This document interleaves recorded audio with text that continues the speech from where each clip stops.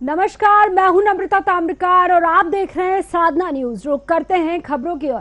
प्रदेश में नशा मुक्ति का संदेश देने के लिए युवा शिक्षक संतोष गुप्ता साइकिल यात्रा पर निकले, जहाँ 700 किलोमीटर की यात्रा कर जगदलपुर पहुँचे। बता दें कि मुंगेली में पदस्थ शिक्षक संतोष गुप्ता प्रदेश के 33 जिलों में साइकिल यात्रा कर नशा मुक्ति, फिटनेस और फिजूल खर्ची रोकने का संदेश दे रहे हैं। साथ ही साइकिल का अधिक से अधिक उपयोग कर पर्यावरण बचाने और वातावरण को स्वच्छ रखने के लिए भी लोगों को जागरूक कर रहे हैं।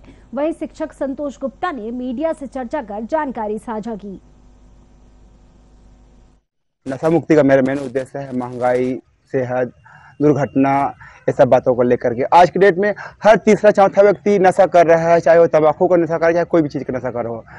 और हमारे अभी इस क्षेत्र में कहा जाए, सभी बीमारियों का जड़ मतलब नशा ही है।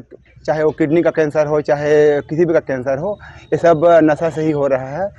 और ये सब चीज़ों को लेकर के मैं लोगों को मैसेज दे रहा हूँ कि हम अपने दैनिक दिनचर्या में साइकिल का कुछ उपयोग कर सकते हैं जिससे हमारा पर्यावरण सुरक्षित रहेगा हम स्वस्थ रहेंगे महँगाई से बच सकते हैं दुर्घटना से बच सकते हैं और आने वाले बच्चों को और युवा समाज को एक अच्छा मैसेज मैसेज दे सकते हैं।